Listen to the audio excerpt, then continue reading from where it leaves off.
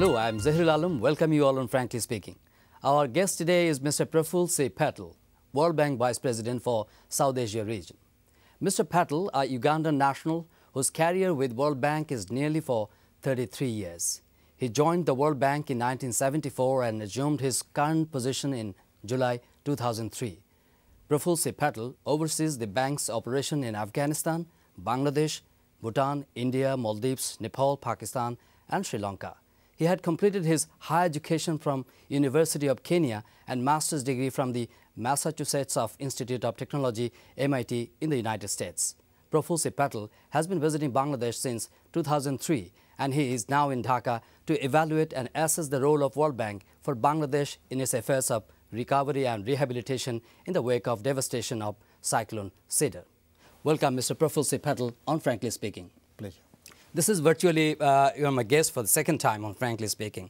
So uh, after, uh, you know, the cyclone Sidr has uh, inflicted huge damage, economic shock uh, in terms of lives and property uh, in Bangladesh. And I think you have already visited some areas of coastal affected area? Yes, indeed. I, I visited on yesterday. I went to see the, the coastal area. That is on 14th? Yes. 14th December. Yes.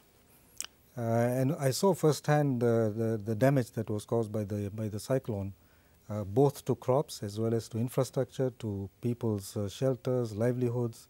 we stopped at a number of places. I interacted with the people. My sense is that the devastation is quite severe. and also that the lessons learned by Bangladesh from previous cyclones, I could say that they have been applied in this uh, particular uh, case.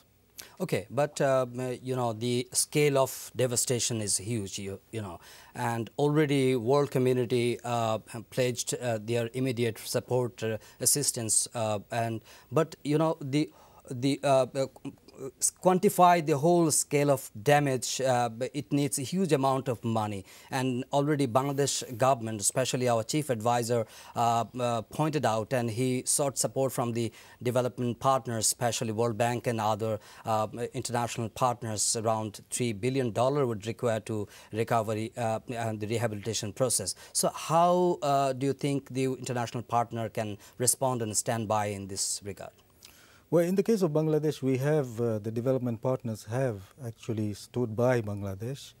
Uh, one has to look at the uh, disasters that have taken place in the last uh, 12 months or so together to see what kind of impact it is having. The floods, the August floods, yeah. and then now the cyclone. Twice in a year. Twice in a year, and I think that the combination of these two uh, disasters uh, combined also with the oil price increase international Brent price. from 60 to, to 100 dollars. Yeah. This has had a huge impact on the uh, country's economy quite apart from the the human loss that you saw. Uh, i think the international donors uh, for example in the case of the cyclone uh, in the very first week after the cyclone uh, we have put uh, a program of support of about 250 million dollars yes. which has been announced. And during this visit is it immediate relief assistance or Yes, in fact, uh, uh, this comes in three forms. Uh, okay. About 100 million of this will be available quite immediately. Mm -hmm. It will be approved by our board in January, mm -hmm. and this will be used for the immediate needs, okay. the short-term needs. Okay. This will be followed by livelihood restoration projects, and then finally the long-term infrastructure repair, because we need to rebuild better from this damage. The people expect that the rebuilding will be not the same thing that they lost, but better to withstand uh, cyclones better in the future you know the uh, World Bank uh, and the other development partners already placed. But uh, you, you, mentioned that uh, by January you will approve the hundred million dollar, and the next phase will be coming on. But uh, the uh, around five hundred million dollar has been placed. So how how how soon these pledges, all the pledges, will be materialized? That remains a question actually. So what do you expect altogether? Well, we realize the need for speed and if I take the floods and the cyclone together, uh, the World Bank has uh, actually put uh, something like 500 million, 550 million dollars on the table. Uh, the flood uh, uh, support it has been approved, and on this one, as I said, the, the next one will be in January. But the follow-up projects are also being fast-tracked. We are, we are speeding up the process, The important thing is that the government has the resources to do the, the job on, uh, at hand on the ground. And I already saw from my visit that this is underway.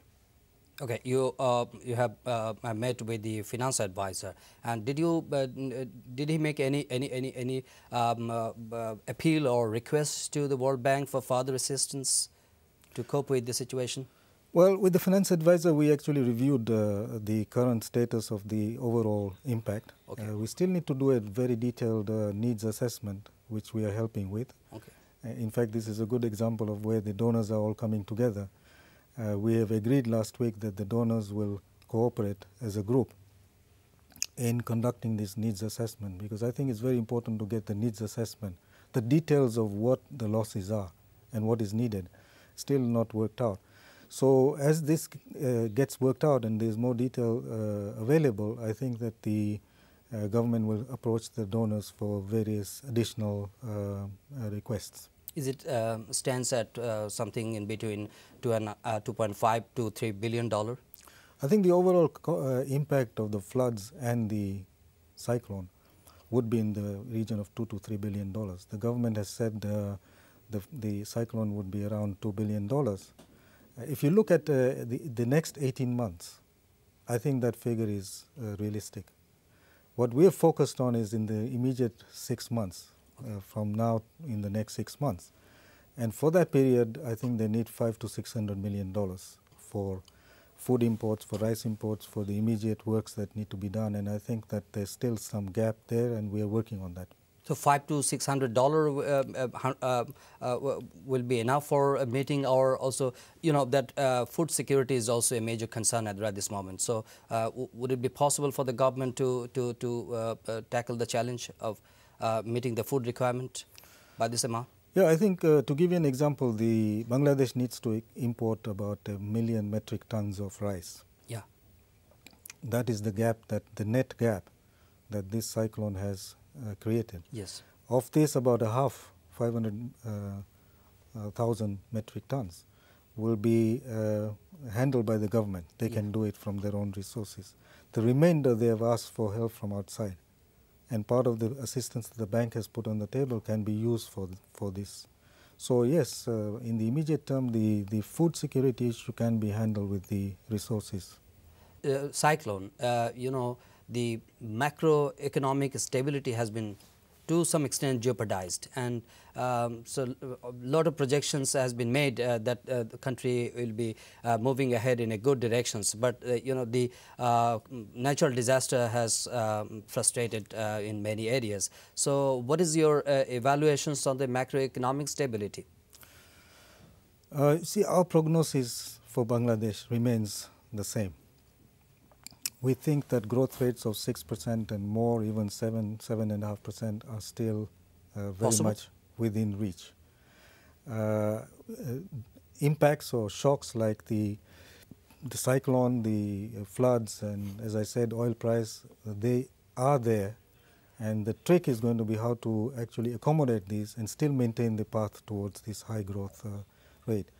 Uh, I know that the finance advisor wants to be very careful that in absorbing the shocks, absorbing the additional cost of the cyclone, that you neither sacrifice the developmental agenda nor do you uh, you know exceed the budget uh, targets uh, that have been set. And uh, that is what he's working on and we are helping in that process. So, uh, uh, you said that the mm, you know, current situations in terms of inflation is inflation is very high, and the rocketing prices of essentials is also uh, is very troublesome for the people. So, how uh, government um, do you think government is in um, uh, in a position to tackle this sort of challenge the coming days? I, I believe so. I think the topic of inflation, as I read in the media, uh, there's a lot of interest on inflation. Let me just say two things about inflation. Uh, everybody agrees that inflation is uh, a bad thing. High inflation is not good for the economy. And in fact, it impacts the poor the most. So everybody agrees that inflation needs to be managed. Now, the question about whether or not this team is going to do it, uh, my sense is that you have a very good team in charge of the finance okay. ministry. Mm -hmm. We have full confidence in the team in terms of keeping a very close watch on inflation. We are there to help uh, accommodate the additional uh, impacts caused by the cyclone and other uh, expenditures. And if this is all done and with the support of the donors and uh, uh, the right policies, I think that they can, uh, you know, go over this period and manage and contain the contain the inflation. So, do you think uh, these are the still a major a lofty challenge for the government? I think it's a very big challenge, uh, very uh, huge. Uh, in fact, uh, when I look at other countries, see, unfortunately, in the case of Bangladesh, uh, as I mentioned at the beginning, it's it's it's the most vulnerable country. In a way, this is a country whose future is trapped between the the melting ice caps of the Himalayas to the north and the rising sea levels to the south, and you have the storms and the cyclones, a very poor uh, population, poverty. If you put all of this together, it, it is of course a huge, uh, huge challenge. But on the brighter side, I think that uh, you know we can make uh, uh, a positive use of the attention the world is giving on climate change. Mr. Praful Patel, we are talking about the climatic change, and uh, you mentioned that Bangladesh is the most vulnerable country, and uh, we are the worst sufferer of climatic change. But we don't have any contributions to the to, to the cause of climate change, but we are the worst sufferer, the, as the uh, poorest of the poor. Like so, how uh, uh, and Bangladesh government and other uh, uh forums, uh, people's forums already uh, claimed to the international community that we need have to have some amount or fund to cope with the situation and to face the challenge. So what World Bank think about the challenge for Bangladesh? There is a lot of interest globally on, on climate issues and I think that we can use the case of Bangladesh to get some of these resources to strengthen the adaptation measures mm. to strengthen the embankments, to uh, manage the coastal areas. Mm. Uh, so I would say there are three or four different ways of doing it. One is to get uh, as much uh, resources as we can get for Bangladesh from these global resources. The other is in the rebuilding process after the cyclone. Mm -hmm to focus attention on the medium and longer term issues like management of the coastal areas, uh, mitigation measures, mm. prevention, preventive measures, and we are working with the government uh, on a number of fronts, including doing a more detailed study. We need to restore the uh, uh weather monitoring uh, stations that have been lost. Early warning system. Early warning system. Mm. And all of this can be done because uh, let's not face. But it needs forget. a huge amount of money, Mr. Praful Patel. some of these do require money, and I think that there are now greater sort of interest on the part of the uh, the, the world community to provide this, particularly for countries like Bangladesh, which, as you say, had no contribution to the problem itself, but uh, ends up receiving the worst effects of this. But there are other measures that, with small amounts of money, for example, for uh, to to enhance the early warning system is not a very expensive thing, in terms of uh, this the systems, the technology exists. And if you really look at how this cyclone was uh, managed, uh, you, you see how much government of Bangladesh uh, is getting better at handling this. In 1970, a million people died. In 1991, in a cyclone, 130,000 died. Yeah. In this cyclone, fewer than 4,000 died. 4, yeah. And this is essentially because the government of Bangladesh has become better. They had cyclone shelters. They had uh, mobilized 40,000 people to evacuate uh, people the resilience of the people. This is, I think, perhaps the most important reason why you know uh, there were fewer deaths in this uh, latest cyclone.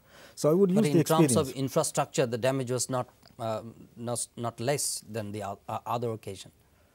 No, in terms of infrastructure, uh, it was because obviously, uh, although luckily in this particular cyclone it happened at low tide, and so the infrastructure damage has been uh, less. It could have been more. Uh, so we, I think we need to learn the lessons from this cyclone.